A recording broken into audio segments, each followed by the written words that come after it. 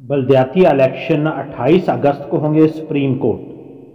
सिंध में दूसरे मरहले के बलदियाती इंतबात अट्ठाईस अगस्त को ही होंगे। सुप्रीम कोर्ट ने बलदियाती इंतबात से मुतलक एम क्यू एम की दरख्वास्त निपटाते हुए हुक्म दिया है कि सिंध में दूसरे मरहले के बलदियाती इंतबात अट्ठाईस अगस्त को ही होंगे और एम क्यू एम की दरख्वास्त पर बलदियाती इंतबात मनसूख नहीं किए जा सकते।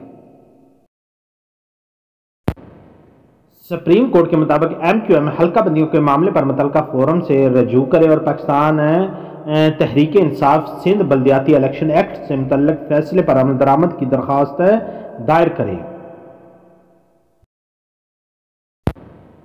अदालत ने हदायत की है कि तहरीक इंसाफ और जमात इस्लामी ने बल्दियाती इंतबात करवाने की हमायत की है।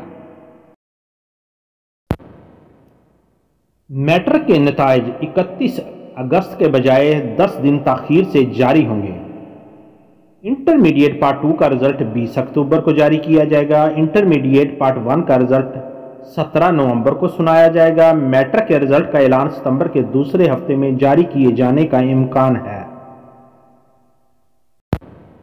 स्टाफ की कमी की वजह से मैट्रिक और इंटरमीडिएट के नतज अल्तवा का शिकार होने लगे हैं।